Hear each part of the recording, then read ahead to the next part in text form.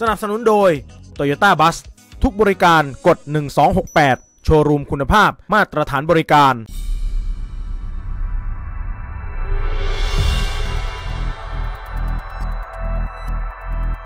คณะทำงานด้านเศรษฐกิจและเหรัญยิกพักไทยสร้างไทยนายพัชรินิตสิริพัฒน์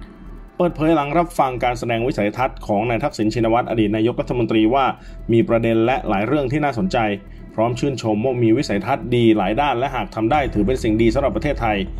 แต่วิสัยทัศน์ส่วนใหญ่จะเป็นการฉายภาพเอื้อในทุนใหญ่ทั้งสิ้นจำเป็นต้องมีการท้วงติงเช่น กรณีความเห็นต่อการเวนคืนรถไฟฟ้า หรือซื้อสัญญาสัมปทานคืนจากเอกชน เพื่อให้รัฐเป็นผู้บริหารเอง หรือจ้างเอกชนบริหาร มีเป้าหมายการเก็บค่าโดยสาร 20 บาทตลอดสายตามนโยบายที่หาเสียงไว้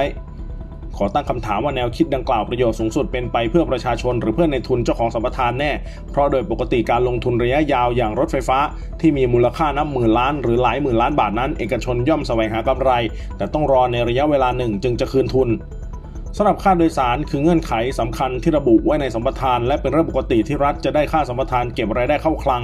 เอกชนจะบริหารภายใต้สัญญาระยะยาว ซึ่งการลงทุนแบบนี้ต้องวิเคราะห์ความคุ้มค่าอย่างรอบคอบ หากทำดีมีคนใช้บริการมากจะคืนทุนไว แน่นอนว่าการลงทุนมีความเสี่ยง ดังนั้น การที่รัฐให้สัมปทานกับเอกชน คือการลดความเสี่ยงอย่างหนึ่ง ไม่ต้องแบกภาระเอง ไม่ต้องบริหารเอง กลับกันหากรัฐมีแนวคิดไปเวนคืน หรือซื้อกิจการกลับมาบริหารเองตามแนวคิดของอดีตนายกทักษิณเพื่อลดราคาค่าโดยสารให้เป็นไปตามนโยบายหาเสียง อาจหมายถึงเอาเงินก้อนใหญ่จากภาษีของประชาชนไปให้เอกชน แน่นอนว่าไม่มีใครยอมถูกเวนคืนในราคาขาดทุน นอกจากเอกชนไม่ต้องแบกภาระความเสี่ยงในการคืนทุนได้เงินก้อนโตในการซื้อสัมปทานคืน แถมจะได้เงินจากค่าบริหารจากภาครัฐ ถ้ารัฐยอมจ่ายสูงซื้อคืนกลับมา มันก็เหมือนเอื้อในทุนเจ้าของรถไฟฟ้า เพราะตามสัญญากว่าจะได้เงินทุนคืนมานาน แต่อยู่ๆรัฐมาเวนคืนในระยะเวลาสั้น เอกชนรูปปากสบายเลย เมื่อรัฐได้สิทธิบริหาร แน่นอนกำหนดค่าตั๋วเท่าใดก็ได้ เช่น 20 บาทตลอดสาย แต่หากทำไปแล้วขาดทุน สุดท้ายอาจเหมือนขอสมกหรือการรถไฟที่มีหนี้สะสมมหาศาล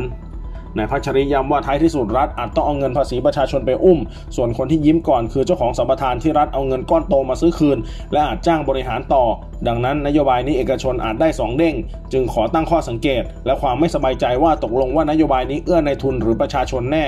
เพราะหากเกิดปัญหาการขาดทุนสะสมรัฐจะไปขายคืนเอกชน คงไม่มีใครกล้าซื้อในราคาสูง สุดท้ายจะกลายเป็นภาระทางสังคม และต้องนำเงินภาษีของพี่น้องประชาชนไปชำระคืน